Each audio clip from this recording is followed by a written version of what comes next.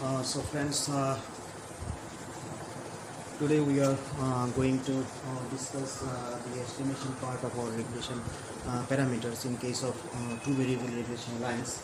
So in that model we have taken that is our regression line where y is our dependent and it is on our variable x and that is our independent variables and uh, we have to now estimate uh, the alpha and beta that is our uh, uh, one is our regression coefficients and one is our uh, constant alpha.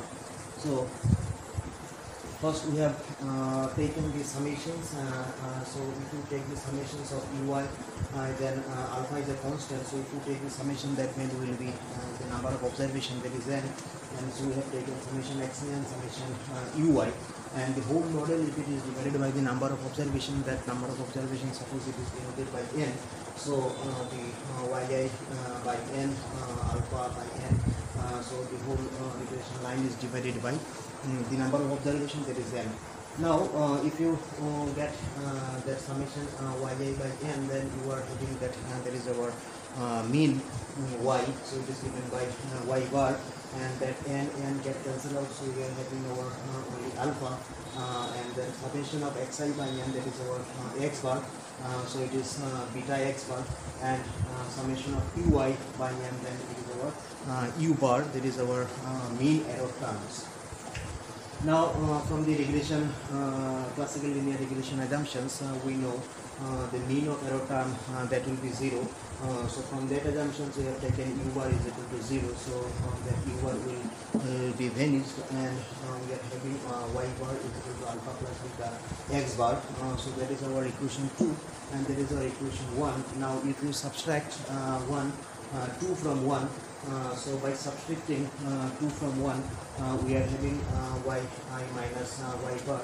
Uh, then that alpha and that alpha will get cancelled out. Uh, so here we are having beta xi and here we are having beta uh, x bar. So we have taken that uh, beta common. So beta xi minus x bar. And here our uh, ui uh, that remains same. So that is our yi minus y bar is equal to beta uh, xi minus x bar uh, plus uh, ui. Uh, now that uh, deviation, uh, there is actual observation from its mean. That is yi minus y bar that is denoted by small yi. Mm, exactly xi minus x bar that is denoted by small xi, and we are having our ui. Now, as you know that u is our error term, uh, so if we take the summation value and if you get it square, uh, then the estimated uh, regression um, residuals uh, that is denoted by u hat So if you get the summation and square, uh, then it is uh, again we know that uh, this is that is called actually a residual sum of square and it is denoted by summation uh, EI uh, square. So summation EI square uh, we know uh, that is we get uh, from actual observation minus our estimated uh, y. Uh, so yi minus estimated y, that is our ui. And as we have taken here summation and hence square, so we are making summation square here. So there is our summation value is remaining same. Now we are uh, putting the value of estimated yi. So estimated yi we know uh, there is beta hat xi mm, mm, minus uh, ui hat. Uh, so ui hat. Uh, so uh, that is our from this part. This is our yi is equal to beta xi plus ui. That is called our transform model. So if you put the value of uh, ui hat from the transform model, then uh, yi small yi minus yi hat value is this.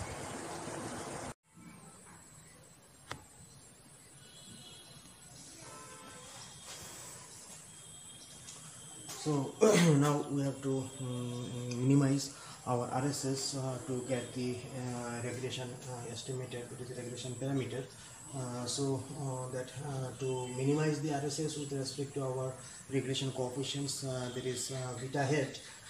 So so we are now differentiating. First we are taking the first order conditions of minimizing. Uh, that is uh, uh, partially deriving the residual sum of square with respect of beta hat and that that first order derivative will be put is equal to zero.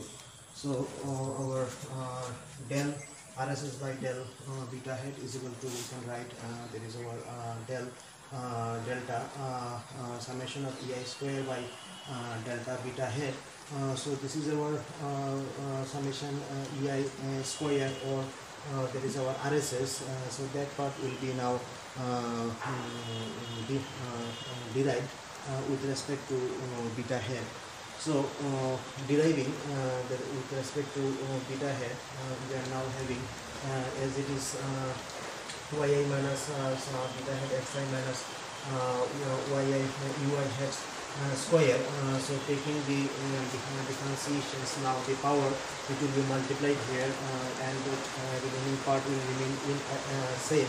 Uh, so uh, 2 into uh, this uh, the uh, whole value.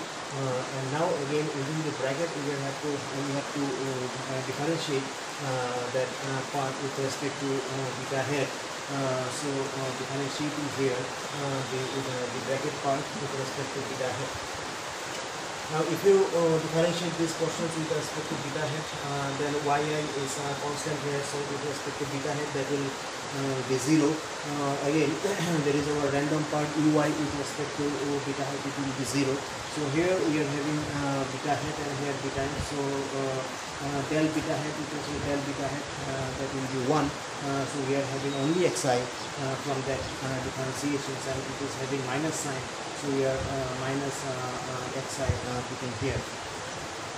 So now if you multiply uh, that minus xi with uh, the whole values then it, it become minus 2 xi uh, yeah, multiplied by this, the whole values.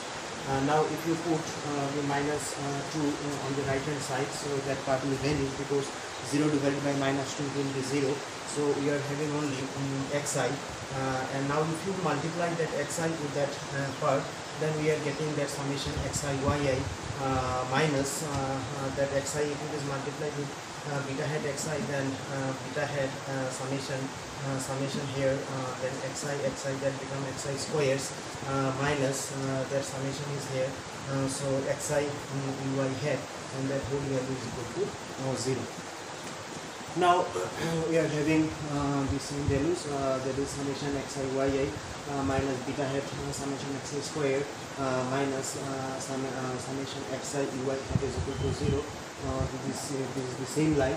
Uh, now uh, if you know that summation xi ui mm, that will be 0 from the assumptions of our classical linear regression models. That is there is no correlation between our explanatory variable and our random variable. Uh, so that part uh, that summation of xi ui from the classical linear regression model that is uh, 0 so we are having summation xi yi uh, minus beta hat summation xi square is equal to 0 now if you uh, put the beta hat on the left hand side uh, then that beta hat value will be uh, summation xi yi uh, divided by summation xi square. So that is our uh, estimated beta hat and that estimated beta hat is equal to summation small xi yi divided by its summation small xi squares uh, so you know uh, small xi what does it mean? Small xi means there is the deviation from the actual values from its mean? And small yi is equal to yi minus y bar. Again uh, summation small xi squares uh, that is uh, summation xi minus x bars uh, whole squares. So there is our um, regression coefficient that is estimated. So with that equation you can estimate the regression coefficient that is beta. Now once you estimate the beta head then uh, from the earlier equations uh, that, that was uh, uh, alpha uh, sorry uh, y bar is equal to alpha hat plus beta hat x bar. Now if you put the uh, values of uh, beta hat here uh, then you can get the values of um, alpha hat. So alpha hat uh, that we can derive uh, by deviating uh, uh, ya bar uh, minus beta hat x bar. uh, so that value you can uh, uh, calculate or estimate that and x bar will also be uh, uh, estimated. And uh, your uh, beta head so if, if you know y bar x bar and beta head then you can easily uh, find out alpha head so this is how we can um, estimate the regression parameters in two variable case. By uh, first estimating the beta head and then after putting the values of uh, beta head on our uh, regression models then you can get your alpha head so this is all about by taking the transform model this, uh, the transform model we can um, estimate the regression parameters in case of two variable cases. Thank you